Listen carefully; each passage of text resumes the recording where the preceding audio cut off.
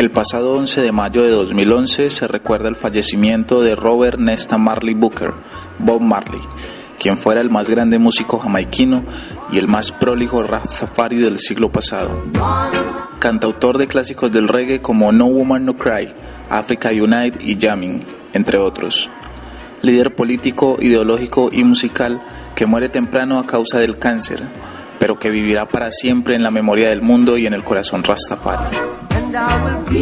No se lo pierda hoy en Reggae's Life, gran especial en homenaje a la vida y obra de Bob Marley, a partir de las 6 de la tarde, solo aquí.